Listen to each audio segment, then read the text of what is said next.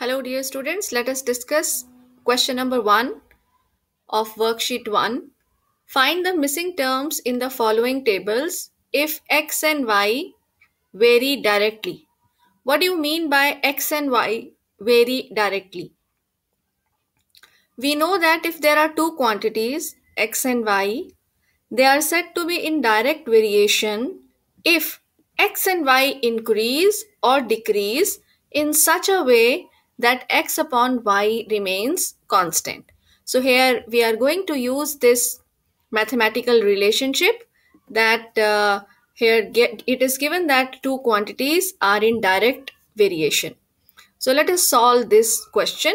So what we have done is we have uh, taken here P, Q, R in the place of the blanks which is uh, given over here. Right. So let us uh, start solving the first part. So you tell me in this first part, x upon y is 6 upon 18. So for finding p, what we have to do? Yes, we will be writing as x and y vary directly. So x upon y is equal to constant. That is k. So that means here 6 upon 18 should be equal to 8 upon p. And this, sh this should be equal to 12 upon q. This should be equal to r upon 63. We can write, write directly. So this is equal to 12 upon q which is equal to r upon 63. Now you can make equations out of this statement. So let us find p first.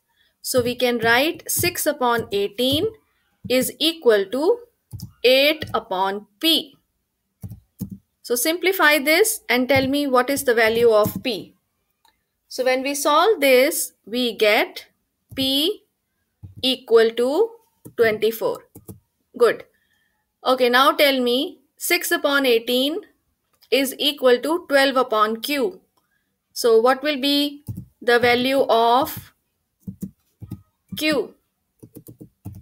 It is given that uh, x and y are in direct proportion.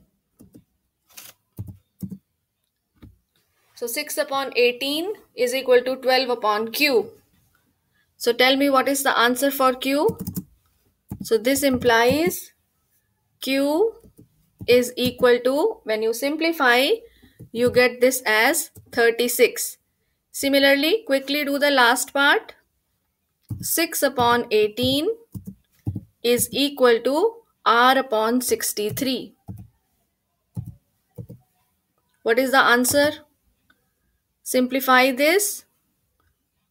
And r is equal to yes r is equal to 21 so similarly you can do the second and the third part.